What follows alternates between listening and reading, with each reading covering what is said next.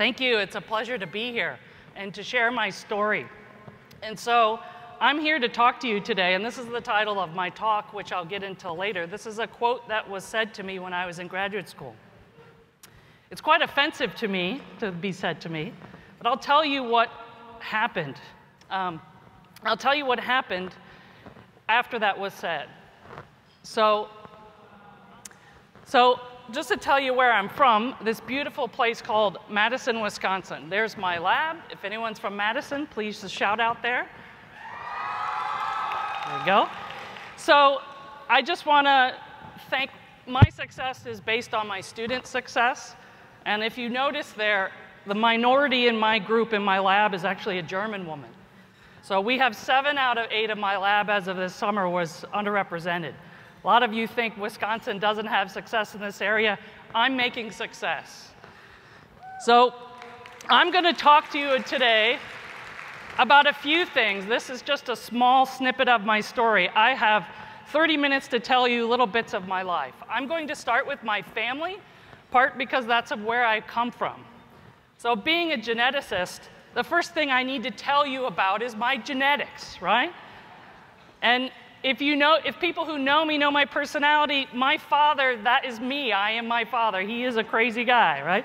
So my father was an art educator, a sculptor, and he's Ukrainian. That's where I get my name. And my mother was Eastern Band Cherokee and also Lebanese. Very unusual, but this is America, right? Both art educators, right? So who did they give birth to, right? All these artists, except for this scientist. How did this occur? My father was unusual in the case is that he worked as a medical illustrator and he taught anatomy, and people thought that was crazy at the time too as well. But when I grew up in this family, I, know no, I knew no difference between art and science. That was, it was in tune with that, and I'll share you some of these examples of where that was in tune in my life. And as I got older, I realized people thought they were different, but I was very similar.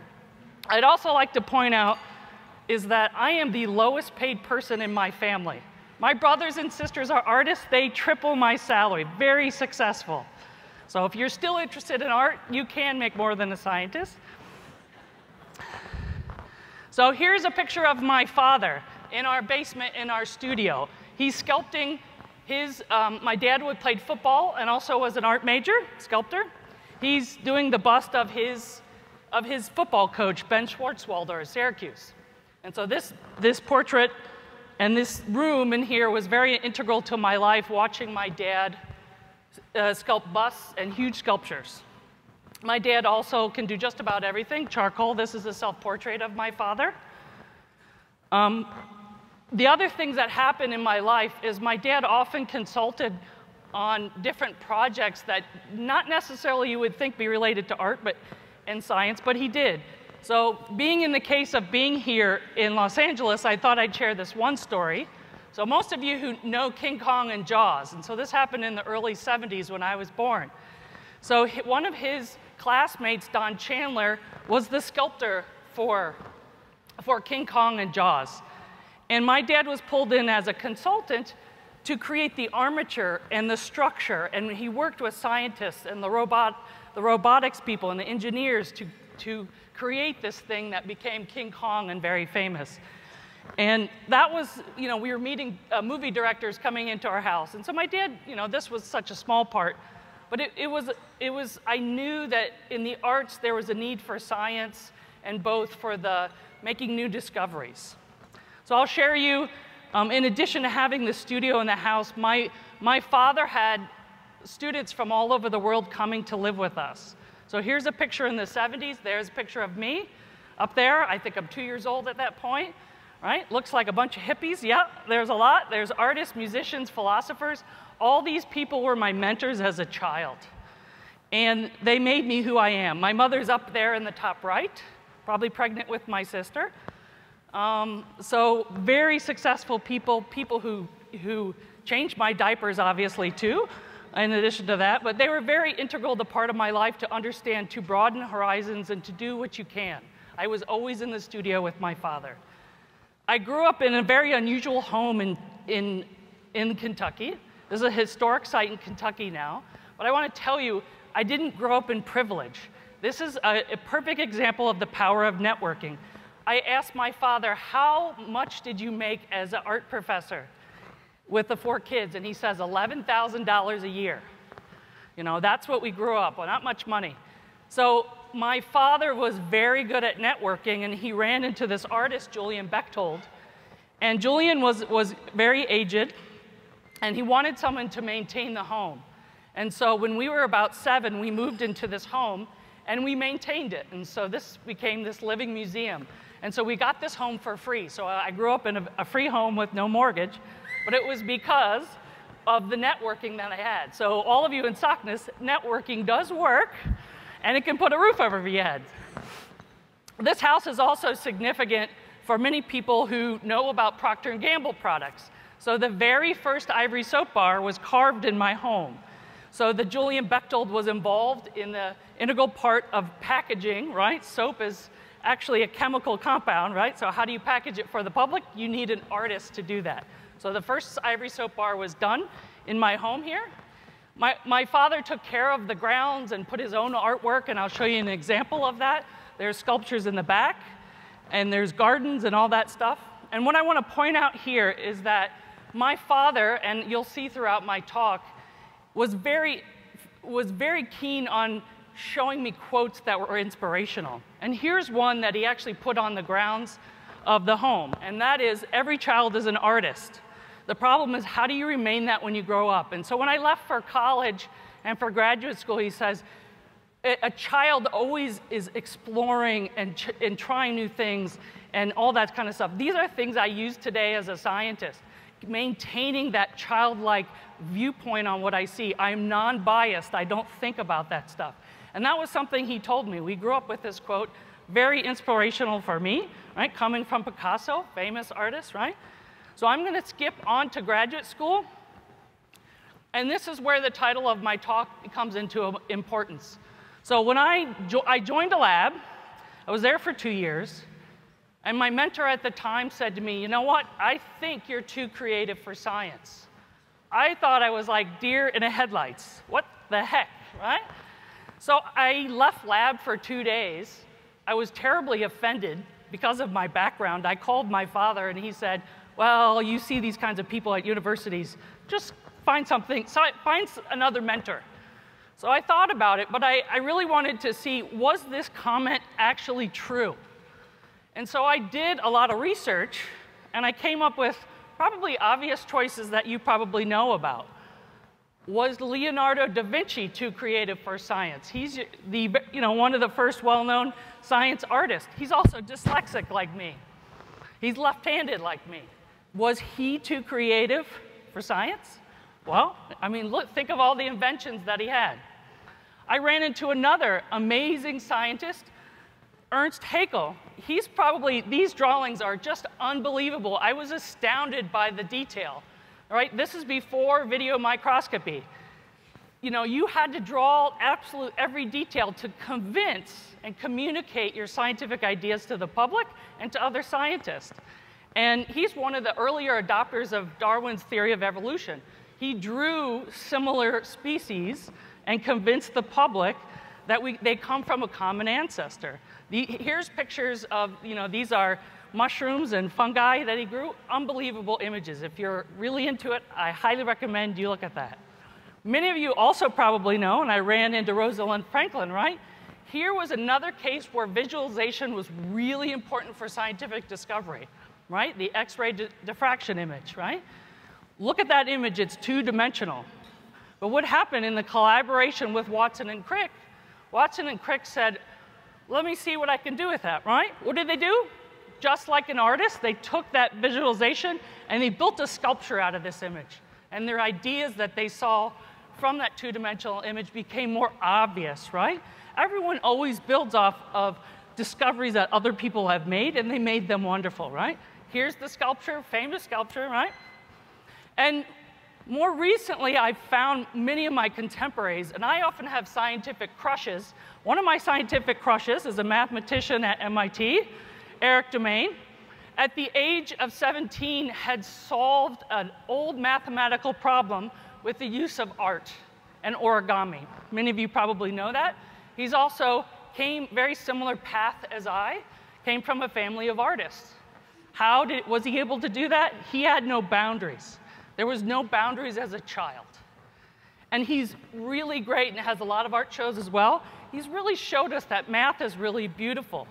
And on the bottom of the slide there, he, a recent Nature, no, recent science paper has actually showed that you can make robots from flat sheets of plastic assemble through origami, origami like um, a folding and walk away. So I encourage you to go look at that. He's one of my scientific idols, and very and still he's, he's 33 years old and has made unbelievable advances to a lot of different fields by using art, right?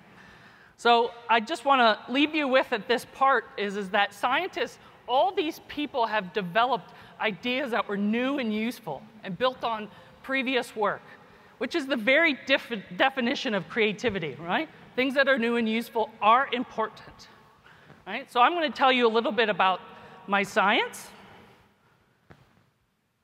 So what, my undergraduate lab, I worked on RNA splicing.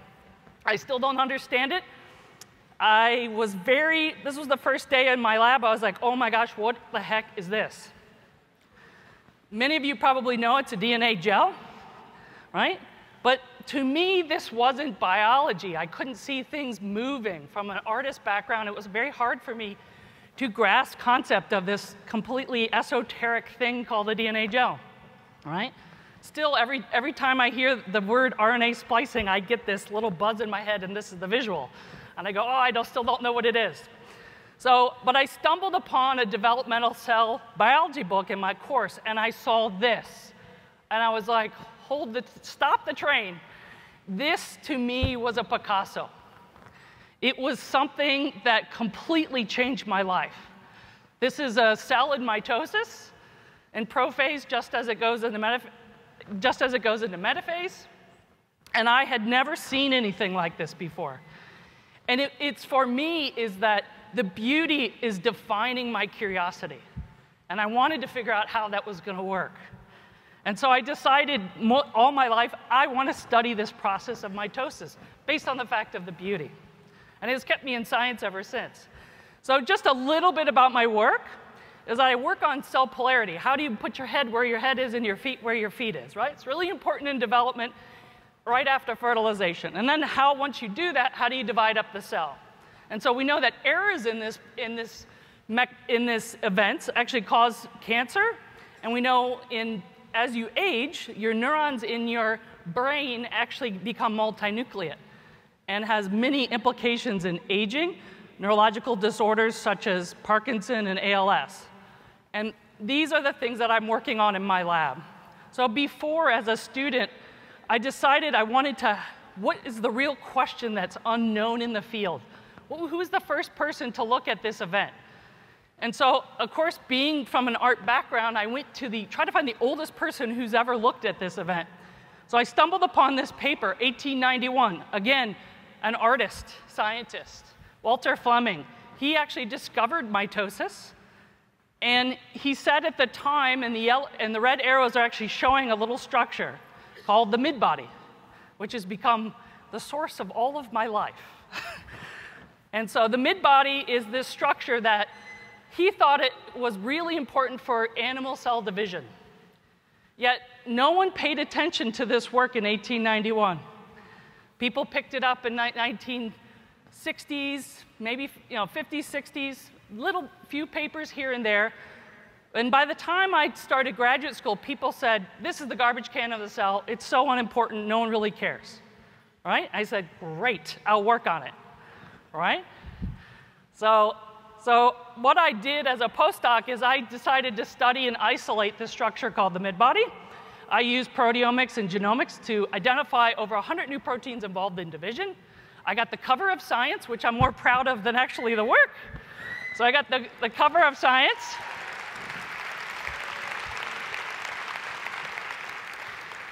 So having the cover of Science on something people thought was garbage is pretty, uh, I tap myself on the back there. You know, I think a lot of people thought that I would not succeed and I had very unsuccessful postdoc. And, but I stuck it out because I had the passion for it. I knew that that's what I wanted to do, and I didn't care what everyone said. It was is part of my curiosity, right? Again, the beauty sort of instilling my curiosity. Here's these beautiful mid-bodies if you isolate them from these CHO cells. So there's those two cells dividing there. We isolate them biochemically. So what my lab is doing now is try to understand how these proteins are actually functioning in the cell. We go from the mammalian cells and include them and look at them in C. elegans. We do that partially for many reasons because the cell cycle is very rapid, which I'll show you. Um, our animals are transparent, and we can use this beautiful thing called GFP to actually tag what the proteins do. So I'm going to share with you my beautiful organism. It's going to crawl across the slide here. There's my worm. So we cut the worm in half, and then we make a video of it. So here's the video of fertilization. Egg and sperm are meeting here and you're watching the division, I can watch this a million times. It never gets old. It's absolutely gorgeous, right? And look, if you look at the top at the timestamp, it's very rapid. And so human cells actually take 24 hours to divide, right? Of course, we can't use human cells to do that. So we use the C. elegans embryo to look at that, those events. Very rapid, very advanced. And so the next thing we do is we take GFP and we tag them on the proteins and we look at that. I'm going to show you a wild type embryo with the same kind of thing, but we're tagging the plasma membrane and the nucleus so we can look at the mitotic events. And when we knock out genes, we can actually see what goes wrong in these, in these embryos as they're dividing. So that helps us understand is that protein required for the mitotic event? And is that showing the phenotypes we expect? So that's what my lab does. I'm not going to bore you with the minutiae of the details. And so I'm going to move on to how my art has inspired my teaching, how my background has, and I'm really a proponent of changing the way science is, is, is taught in the schools. This is really important to me. So one of the things I've noticed, and I, a lot of you students out there, I, have, I failed my prelim twice, right? Still here, right? I'm still here. And I think the, one of the greatest quotes to actually highlight that is this Einstein quote. The only thing that interferes with my learning is my education. and that's a case for me, right? And many of you probably know the next quote, Sir Ken Robinson, right? The education system is educating people out of their creativity, right? In the background, you have your Scantron sheet, right? I tell my students on the first day, do you think I come to work every day and fill out bubble sheets? No. I don't. That's like the least creative thing to do. So why do we teach it? Why do we use that way of assessment in the classroom? So I went back to my background to think about this problem. And how, how do I teach this better, right? Here's a picture of people sitting in a museum. How many people have been to an art museum? How many people think after they've been to the art museum, they actually know that they're an artist? Probably Some people might think that, yeah? But like I grew up in my household, you really had to do it. I mean, you had to get your hands in the clay and really understand what you were using and express yourself in that way. I knew that as a child was important. However, when I got to school, I got this, right? I got this museum where I was just there for a bit. I couldn't touch anything, couldn't do anything.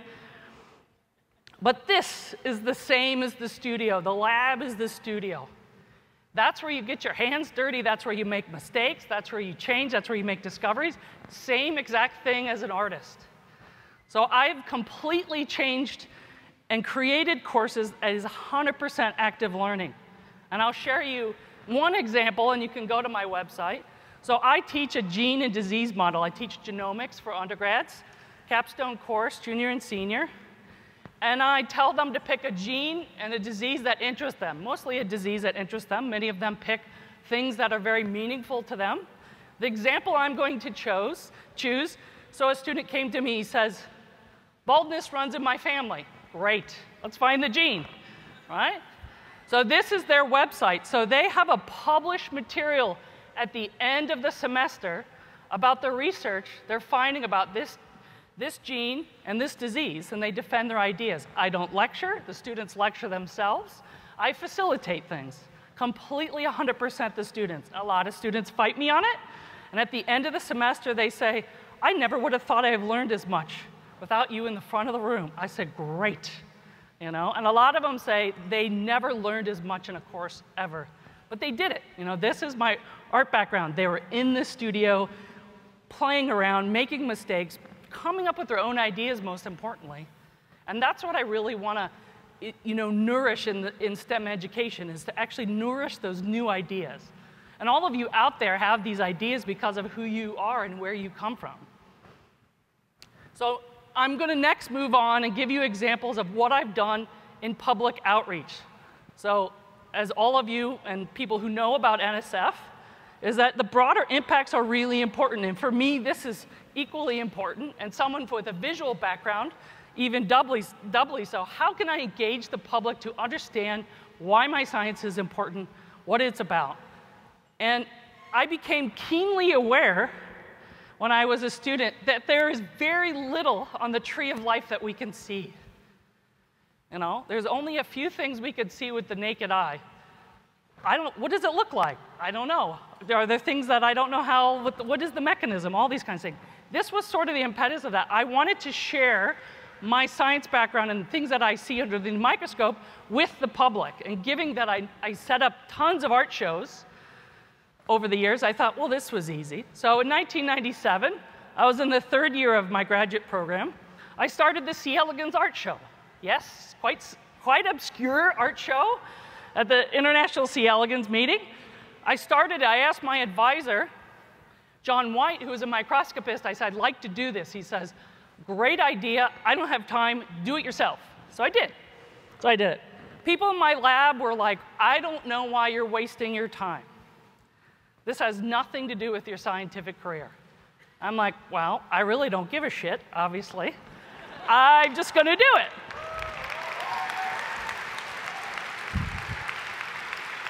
So now, after 17 years, it's an ongoing event. It's been written up in science, you know, and the scientists all over the place. And I'd have to say a note to students keep doing what you're doing and what you're passionate about. So when I went on the job market, I applied to 15 places. I got 11 interviews, and every single person introduced me as the speaker, as the, the woman who does the art shows, but also does fantastic science. So that to me was my marketing. You know, people saw me that I was engaging the public. It's also a good sign that you're a good teacher. You, you're engaging, right? So I'm going to show you some examples from this show a lot of people were skeptical. So these are scientists from, you know, these are your colleagues, people out there, things that you don't think is going on behind the scenes. This is not all of my work, this is scientists, so it's a testament to the creativity in science. So this was one of my first place winner. So Stephen Johnson is at Brigham Young now. This is a stained glass C. elegans, right? If you're a C. elegans fan, you're like, holy shit, right? This is amazing, right? Next entry, right? a Batik C. elegans. Wow, you know, like people were really into this. I was really surprised. And everyone who knows Andy Warhol, right? So if you look at EM images, right? Someone obviously was inspired there to make Marilyn Monroe into a C. elegans, right? It's really good. And probably one of my, as a postdoc, probably one of my first actually HHMI investigators, Abby Dernburg, who's now at Berkeley, this is her beautiful gonad. It's not her gonad, but it's the worm gonad, and these are nuclei stained, right? Beautiful, absolutely beautiful image, and it's just unbelievable. Here's the, the next image I'm going to show you something I did. So a lot of days when you're on the microscope, you look down and you're like, oh, crap, the experiment didn't work, but look at this image, right? This was one of them. So you can see my little worm crawling around there. Looks very celestial. Does, does anyone know what the, they think those UFO looking things are? All right. Very unusual. These are actually air bubbles caught in the agar when it solidifies. It was stunning, right? It had to be actual perfect temperature, time when the solidification was happening. You know, some days you look and you realize, wow, you know, I'm bigger than the worm here, but you know, you see the space and you just get overwhelmed. But these are things you can't share with the public when you, when you publish your paper. You know? So these are perfect examples of things to share with the public because people know what UFOs are. People know what water is, right? So that's an example there. So what I've done since I've become a faculty is had more chances to do other things. So I'm going to show you examples. Sort of the last part of my talk is some of the, the shows and installations I've done. So when I came to my campus, I was in a brand new, was fortunate to be in a brand new building. It was an empty wall. So I walked up to the dean's office above the head of my chair, and I said, I want to do this installation. He says, great, here's $15,000. I didn't have to write a grant. It was the easiest thing I ever done. This is what I did. This is inside my building. This is the work that people in my building do. Now we have tours of students coming in, seeing the beauty of science. This has led to a show, a touring show called Tiny, art show that was actually installed in the Madison airport and is now traveling the country. It's been at the NSF, it's been in the Milwaukee Art Museum. Here's some examples of that. These are zinc oxide nanorods, absolutely beautiful. These are involved in making of solar cells. Here's a very iconic image that was in the New York Times, Sean Carroll in my department. This is a Drosophila embryo showing stripes of gene expression absolutely un unbelievable. You know, people see fruit flies on the bananas all the time, but no idea how beautiful it looks in the embryo, right? Here's another amazing image that I've shown a lot. This is probably something you probably feel all the time. So on the bottom of a leaf, it's very fuzzy, and you get this fuzzy feel. This is a trichome. Gives the fuzzy, it looks like it's from space. And recently I had an opening. We had this cool science image competition on campus, and it's got a lot of sponsors from corporate and we do these big shows. So that just opened up a month ago. And lastly, I want to give you an example of, I also, in addition to having the scientists in my lab, I actually have artists come to lab, oftentimes on Friday. So I had a Guggenheim Fellow, and, and this is Chanel, and she is actually a performance artist, and she was in the lab every Friday looking at C. elegans. And the green there is she's actually showing the cuticle of the worm. She's also a fabric designer, and she took what she saw there and she made fabric out of it, something new from what she was looking at. So she's just unbelievable. Um, and would do these shows in New York with all this fabric she made from the C. elegans. Currently, I have another MFA student, Angela Johnson. We are actually have gotten approval to actually um, decorate all our, our floor with scientific art, and so it's going to be part of our MFA project. So I'm really supportive of the artists and scientists that are intermingle. They come to lab meeting, they see what's going on, and we inspire each other. And one of the things I want to leave you with is that I'm not involved in all this art and science. I also do things outside the lab, and I have passions. So the things I do outside, one of them is I have a food blog. I have, these are very famous scientific cupcakes, so oftentimes when my students, or all the time when my students have a paper, we actually make a figure. Cupcakes or cakes out of the, one of the figures. So I tweeted this out, and this is the power of Twitter. I tweeted this picture out, and within three days, I had a job at Nature. They said, We like your point of view. So you can get a job with cupcakes. So I want to I want to leave you with a few more quotes. And many of you probably know this. So Steve Jobs, right? The phone is you needed art to actually make that sell, product sell. You know, that's all the science, but the art sold it. That was the genius there. And this quote is really great. It's really connecting things. Creativity is connecting things. But what he says down there in blue is that you don't get there. You don't get there unless your background, your background experiences make and, and put those two things together. And that's what's important. And most of all, especially for this conference, is that diversity is really the source of this creativity and education. All of you out there are, are different on the inside and on the outside, and that's what brings things new to the table. And that's why we want you in STEM.